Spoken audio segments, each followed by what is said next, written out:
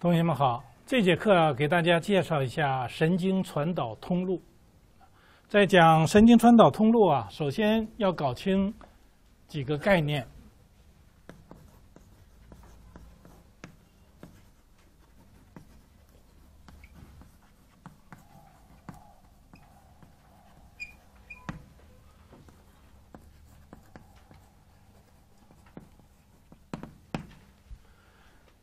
首先，我们要搞清什么是神经传导通路呢？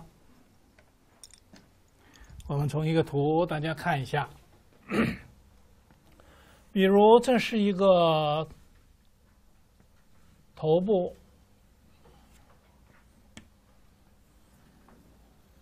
我们知道颅腔里边呢，容纳的这个高级中枢是脑髓。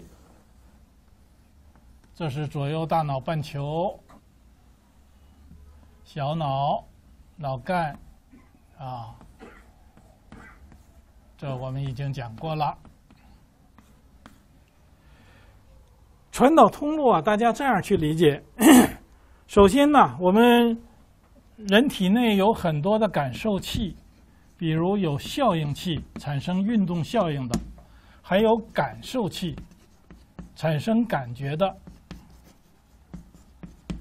它们和大脑皮质都有一个神经联系，啊，那么中央前回到效应器，我们把皮层与感受器、效应器之间的联络通路叫做神经传导通路，啊，那么既然有两个联系通路，从传导方向上我们可以看出，感觉传导通路是不是像皮层传导，运动传导通路到效应器，所以又分成上行的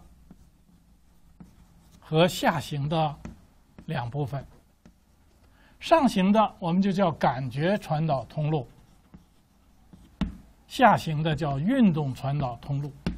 啊，先把这个概念理解了。第二个，大家要知道，我们人体的感觉。有哪些种类呢？感觉的种类，我们把它分为两类，一个是特殊感觉，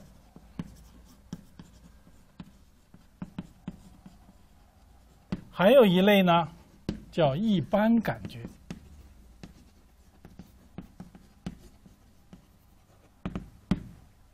我们先看特殊感觉包括什么呢？光觉。声觉、味觉、嗅觉、内脏感觉、平衡觉，这都属于特殊感觉，是吧？那么这节课大家重点要理解一般感觉包括什么？一般感觉包括有前感觉，还有一种叫深感觉。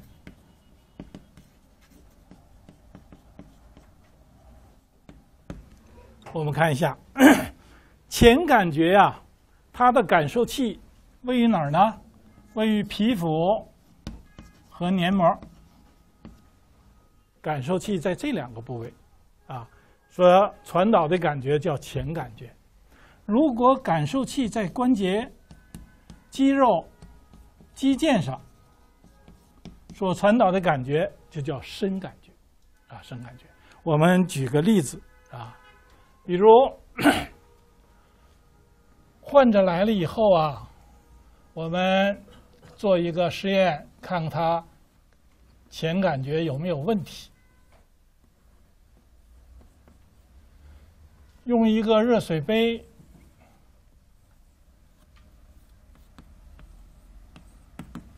接触皮肤，大家想，正常人能不能感受是冷水、热水啊？这叫温热觉啊，温热觉。是刺激皮肤，叫浅部感觉。我们用大头钉刺激皮肤，是不是有痛觉？哎，这也属于浅感觉。用一个毛刷接触皮肤，感到痒，这是不是叫触觉？这个叫粗略触觉。啊，触觉啊分为两种，这个叫粗略的。还有一种触觉，比如你在患者的背部用一个画龟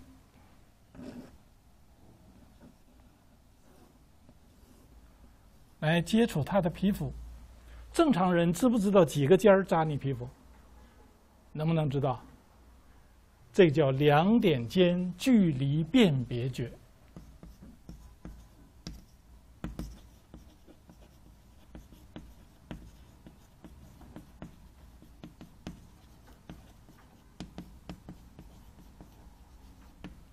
它也属于触觉的一种，啊，也是属触觉一种。那么这个触觉和这个触觉一样不一样？啊，毛刷刺激皮肤，你能不能知道多少根毛啊？不可能，所以是粗略大概的，啊，这个是精确的，两点之间距离多少你都能判断出来啊。所以触觉大家记住，有个精细触觉，还有一个粗略的触觉，啊，触觉。都属于前感觉，还有一个触觉，就是给你一个，比如给你一个食物，当然让患者是不是得闭上眼睛啊？给你一个东西啊，然后让患者触摸，给一个什么东西呢？比如给你一个钢笔。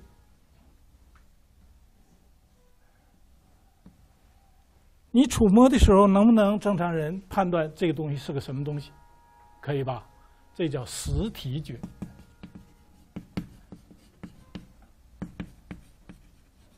它也属于精细触觉，啊，也属于精细触觉。所以在触觉里边，大家记住有精细，有粗略，其他的就是温热觉、痛觉，啊，温热觉、痛觉，还有压觉，用手压迫你任何一个部位。你都能知道压在哪儿，是吧？这叫压觉，这些都属于浅部感觉。什么是深部感觉？临床怎么检查呢？深部感觉啊，首先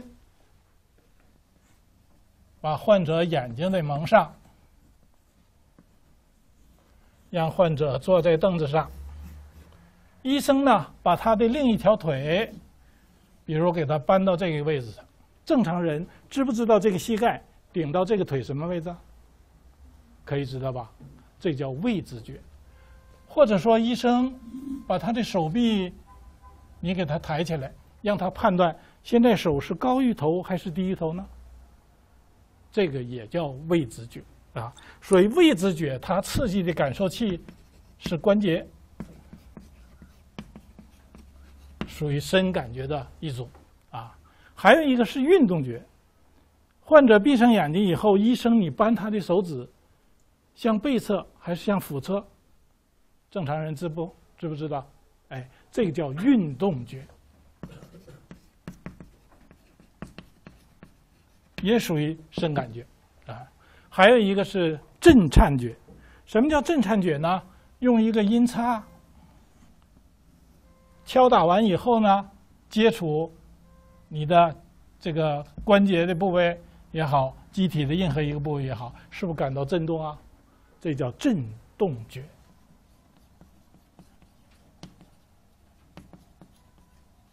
这三个实际是检查什么感觉呢？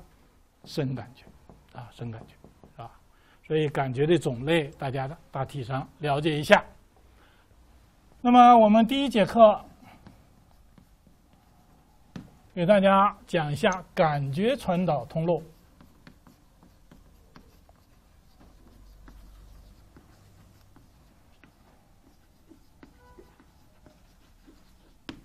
感觉传导通路，第一个我们就提一下躯干和四肢本体感觉。本体感觉就是深感觉和精细触觉，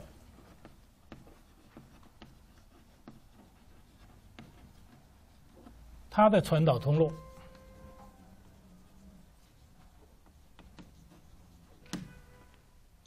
这里解释一下啊，本体感实际就是我们说的深感觉，但是呢，精细触觉，大家说是前感觉还是深感觉啊？前感觉，只是它和它在一个道走，把它俩并到一起了啊，不等于精细触觉就是深感觉啊。那么我们要了解几个问题呢？感觉的传导都是三级神经元完成，啊，神经元的链锁是三级。我们首先要看三级神经元的抛体，它的部位都在哪儿？啊，那我们看第一级神经元，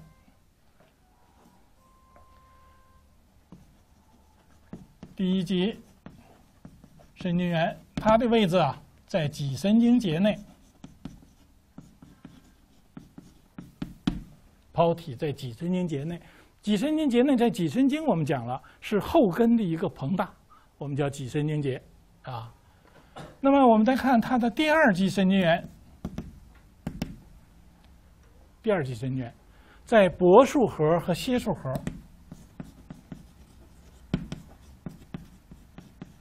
薄楔树核。在讲咽髓的时候，我们提到了。有四个包，包里的三面啊，一对是柏树核，一对是楔树核，啊，楔树核。那么它的第三级神经元呢，在丘脑腹后外侧核，丘脑腹后外侧核，啊，三个神经元的位置搞清楚，啊，搞清楚。第二个，我们看一下它的传导途径。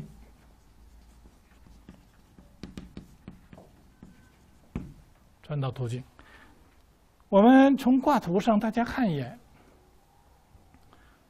我们看这个图啊，它展示的就是一个躯干四肢的本体感觉和精细触觉的传导，啊，大家看，第一级神经元抛体在这儿，脊神经节里，进到脊髓以后呢？它在脊髓的后索上升，上升到这是咽髓平面，咽髓有两对核，内侧的柏树核，外侧楔树核，所以到这两个核交换神经元，神经元交换完以后立即交叉，在对侧上升，组成了一个系，我们过去已经提到了，叫内侧丘系，到了丘脑腹后外侧核，再交换一次神经元，到达中枢。啊，到达中枢，这个图看起来不太方便，我们把它变成一个简图，大家看一下。首先，我们学过的大脑半球、半球尖裂，这是导叶、颞叶，这儿呢是片子体，中间间隙是第三脑室，这个表示丘脑。两侧的这个是豆状核，下边葫芦状的这个表示脑干，把它缩短一下，这个表示脊髓。从这个图上大家看怎么走的啊？怎么走的？我们再画一个脊髓的断面，放大一下，扁圆柱状。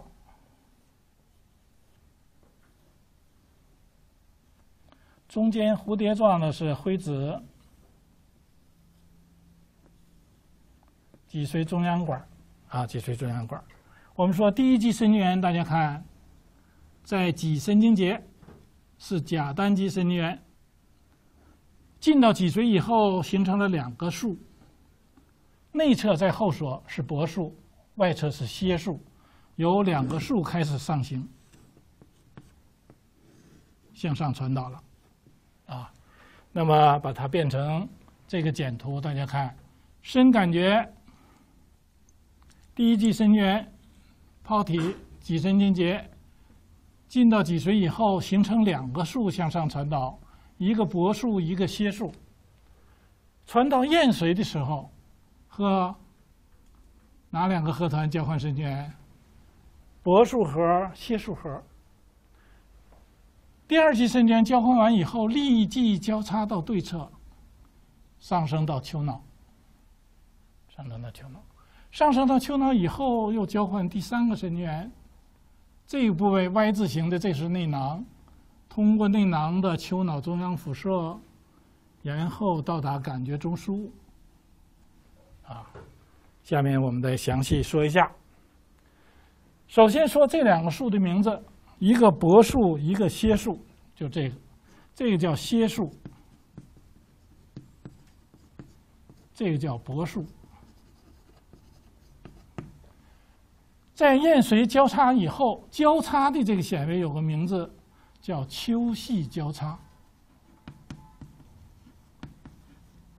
交叉以后上行的这个数，叫内侧丘系。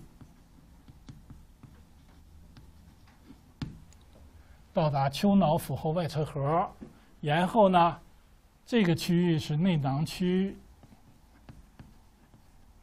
大家说，投射到中枢。感觉的中枢应该在哪儿？我们讲过了，是不是有中央后回？中央后回，记住是上三分之二，下三分之一管头部的啊。这个是躯干和四肢投射到上三分之二。另外，我们看半球间裂里边进来的这个是旁中央小叶，旁中央小叶的后份儿啊，旁这块是旁中央小叶。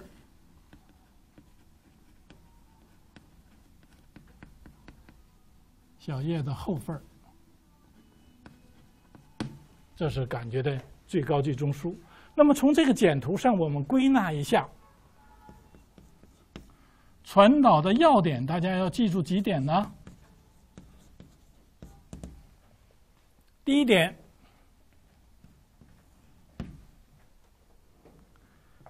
显微在脊髓的哪个锁上升？这是什么锁？后锁对不对？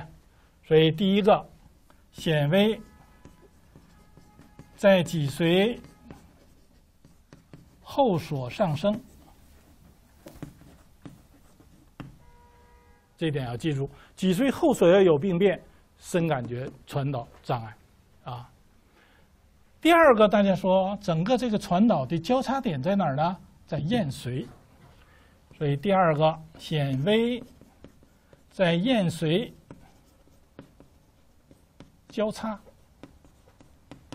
交叉点，记住，咽髓以上任何部位有病变，表现是对侧深感觉障碍；咽髓以下，也就是脊髓的病变，表现是同侧深感觉障碍。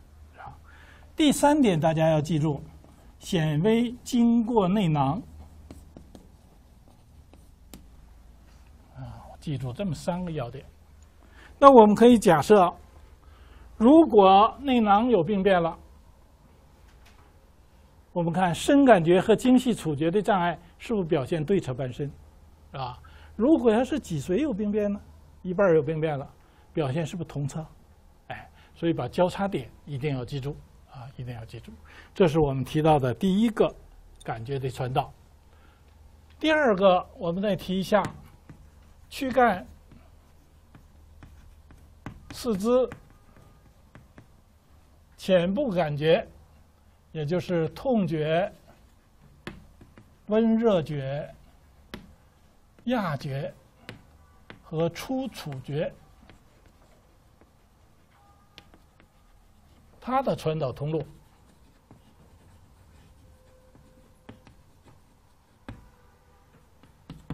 也分三个层次。首先看抛体。抛体的部位在哪？第一级神经元的抛体啊，还是脊神经节啊？我们这样记一下：第一级是脊神经节内，第二级是脊髓后角固有核。第二级神经元抛体，第三级神经元的抛体应该是在丘脑腹后外侧核，丘脑腹后外侧核啊。那么第二个，我们看它的途径怎么传递呢？也从一个简图上，大家看一下，半球粘液、半球尖裂、片子体、第三脑室、丘脑、窦状核、脑干，下边是脊髓。下面我们也画一个脊髓的断面。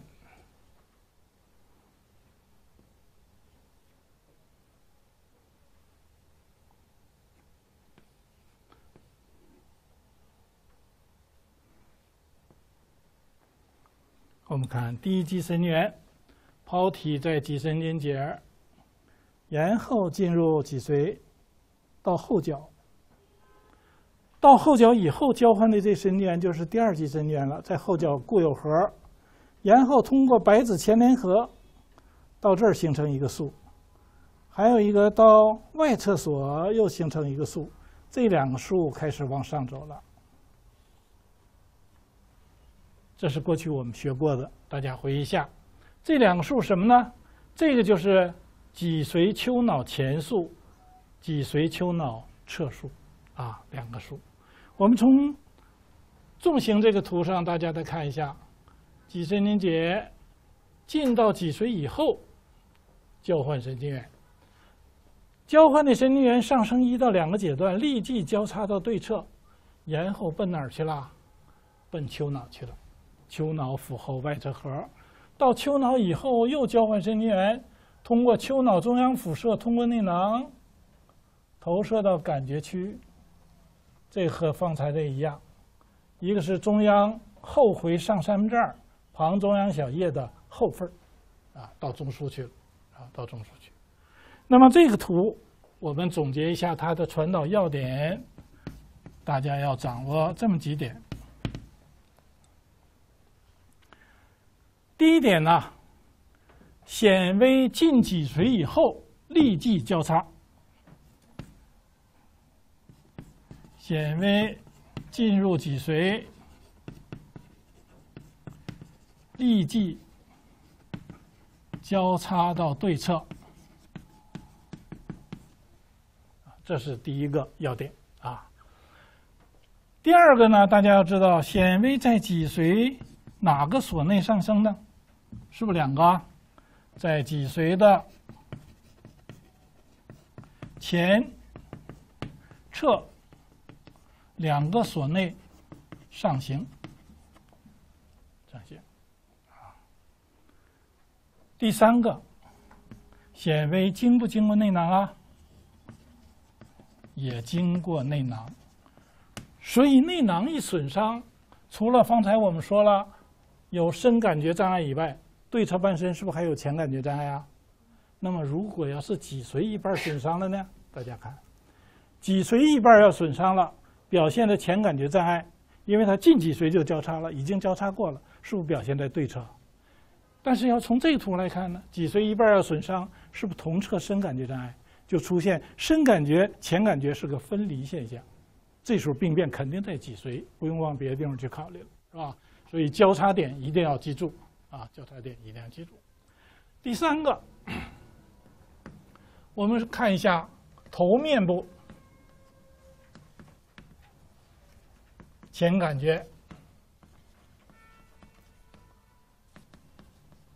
它的传导通路，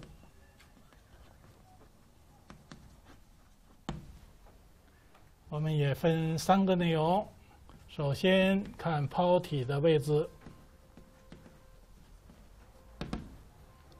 头面部大家知道是通过三叉神经啊，我们已经过去提到了。头面部啊，三叉神经管理三个区，不知道大家忘没忘？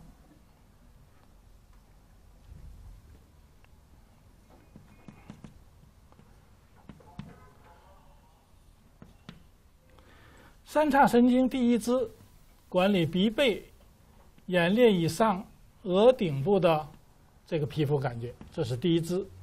第二支是口裂与眼裂之间的皮肤。第三支颞部下颌那么它通过三大支进行传递。我们看一下它的图：第一支眼神经，第二支上颌神经，第三支下颌神经，啊，然后进入脑桥，脑桥再往上，这个是中脑。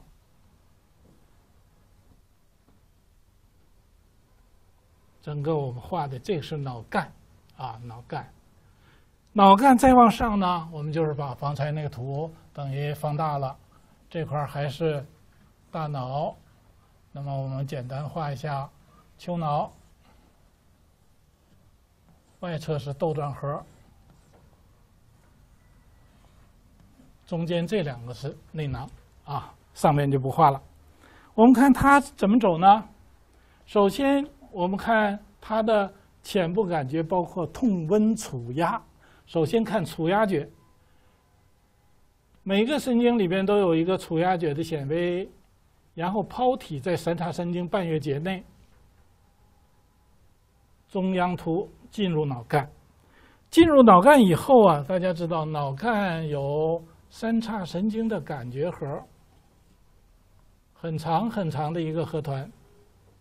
它分为中脑核、脑桥核、脊柱核。那么这个神经呢，就到达了脑桥核，交换神经元，立即交叉到对侧，奔哪儿去了？奔丘脑。在这儿再交换，通过丘脑中央辐射，到哪儿去呢？一会儿我再说。它就往下来了啊，因为头面部管理下三分之一，中央后回下三分之一。啊这是一个感觉，触压觉。还有一个感觉，我换一个颜色啊，痛温觉。抛体也在这儿，它进入脑桥以后，向下组成三叉神经脊束，然后到达三叉神经脊束核，到脊束核以后交换神经元，立即交换到对侧。又开始上升到丘脑，到丘脑。那么大家看，这两个数加在一起呀，叫三叉丘系，包括痛温觉和触压觉啊，触压觉是吧？然后到达中枢，中枢呢，我们应该标上点儿，这儿应该是中央后回呀。中央后回下三分之一，啊，下三分之一，传导头面部的感觉，啊，感觉。那么第二个，这是我们提到的途径，目的是为了总结它的传导要点。记住几个要点呢？第一个。大家要记住，通过什么神经传进来的？呃，显微通过三叉神经传入，啊，所以三叉神经如果出现毛病，那么这个感觉传导就中断了。第二个，显微进入脑干以后立即交叉，显微进入脑干。立即交叉到对侧，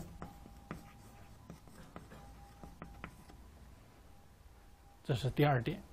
第三点还是共性的，通过不通过内囊啊？